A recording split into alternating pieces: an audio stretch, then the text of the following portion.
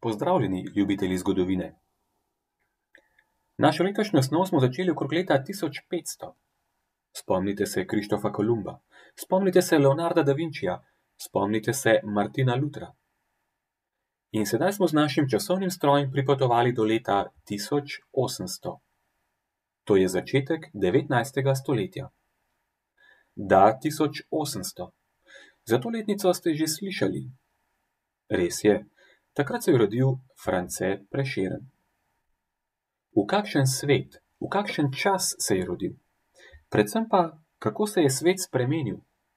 Poglejte si v miniseriji Devetnajsto stoletje, stoletje meščanstva. Svobodno sanjaš o svoji prihodnosti in govoriš, kar želiš, razen doma in v šoli? Imaš svojo lastnino? Znaš brati in pisati in vse okrog tebe te obdaja tehnologija? Zakaj tvoj prijatelj iz sedemnajstega stoletja vsega tega ni imel?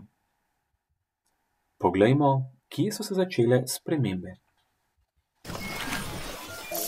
Misliš, da so k temu prispevale verske vojne? Misliš, da sta k temu prispevala strah in nestrpnost pred drugačnim in neznanim? Misliš, da so k temu prispevali samovoljni in nedotakljivi oblastniki? Ne. Vse se je začelo, ko so posamezniki začeli poudarjati, da bo človeštvo napredovalo, ko bo med njimi vladala strpnost, razum in svoboda. To je doba razsvetljenstva. Razum imamo vsi, zato si vsi zaslužimo svobodo in enakopravnost. In zato na svet okrog sebe gledamo z razumom. In mnogim ljudem so se te ideje zdele super. Začeli so jih zahtevati zase. A stari svet se ni podrl kar tako, mnogim ni bilo do sprememb.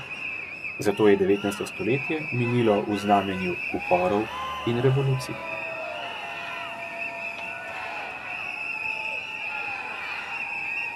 In ker so mnogi ljudje živeli v bedi in slabih življenjskih razmerah, so bili veseli, da je raziskovanje narave prinašalo izume in iznajdbe, ki so jim olajšale življenje.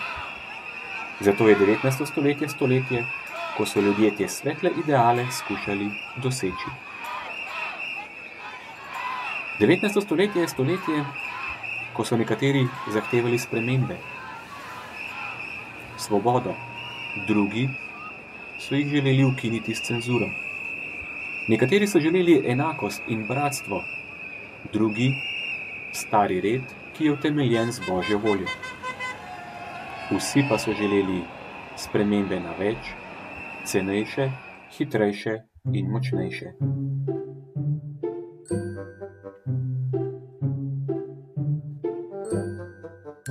Devetnajsto stoletje je zato pomenilo zaton plemstva in dvig meščanov. Meščani so zahtevali svobodno gospodarstvo, svobodo govora in pisanja, volilno pravico in oblast. Kmetje so zahtevali osebno svobodo in konec fevdalizma, in tudi druge zapostavljene skupine so zahtevale boljši položaj, svobodo in enakopravnost.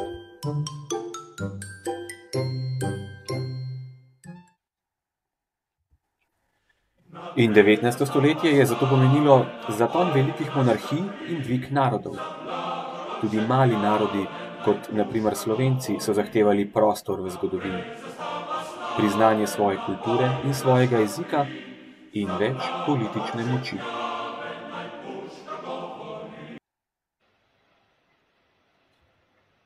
In devetnajsto stoletje je zato minilo v znamenju dveh industrijskih revolucij in izjemnega tehnološkega napredka. Na začetku stoletja je James Watt izumil parni stroj. Pojavijo se prvi vlaki, parniki in veliki tovarniški dimniki, ki so mesta spreminjala v sivino. V drugi polovici stoletja sta Tesla in Edison prijavljala izume s pomočjo elektrike. Ob koncu stoletja Daimler in Benz izumita prvi avto.